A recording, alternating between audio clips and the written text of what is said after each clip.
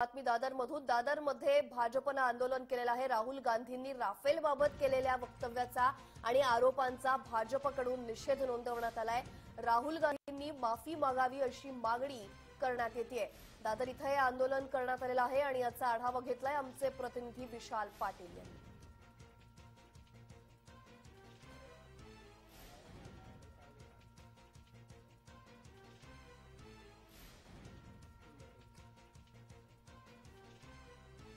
राहुल गांधींनी राफेलबाबत केलेल्या आरोपांचा भाजपकडून निषेध करण्यात आलेला आहे.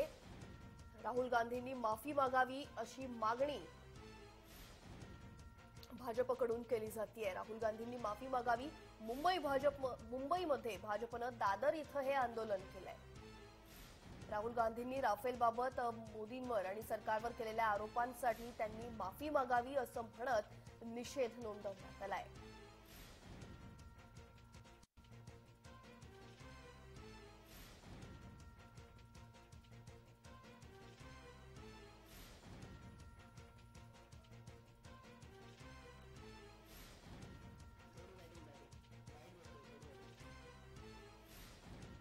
राहुल गांधींनी माफी मागावी अशी मागणी करण्यात आलेली आहे आणि राफेलबद्दल त्यांनी जे वक्तव्य केलेलं आहे जे आरोप केलेले आहेत त्यासाठी राहुल गांधी माफी मागो असं या आंदोलनात म्हटलं जात आहे मुंबईत दादर या ठिकाणी भाजप कार्यकर्त्यांनी हे आंदोलन केलेलं आहे.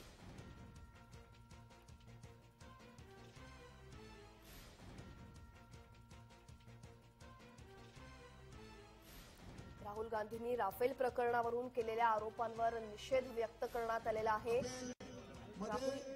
का राफेल थांबू इच्छित होते याची कारण आपल्याला सगळ्यांना माहिती आहेत. राफेल तर आपल्या हिंदुस्थानच्या पुन्हा एकदा काँग्रेसचे हे नेते आणि स्वतः राहुल गांधी हे झूटवर झूट पुन्हा एकदा बोलण्याची सुरुवात केली आहे. राफेल मध्ये का राफेल थांबू इच्छित होते याची कारण आपल्याला सगळ्यांना माहिती आहेत. राफेल तर आपल्या हिंदुस्थानच्या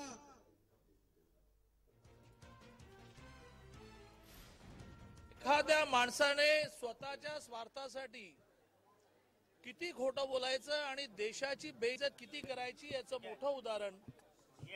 लोकसभा निवडणुकीच्या काळामध्ये राफेल विषयामध्ये ज्या प्रकारे राहुल गांधींनी पंतप्रधान नरेंद्र मोदींवर टीका केली आरोप केले चोर म्हटलं त्यातून संपूर्ण देशभर तर या विषयाच्या बद्दल संशय निर्माण झाला परंतु संपूर्ण जगामध्ये आपली नाचक्की झाली.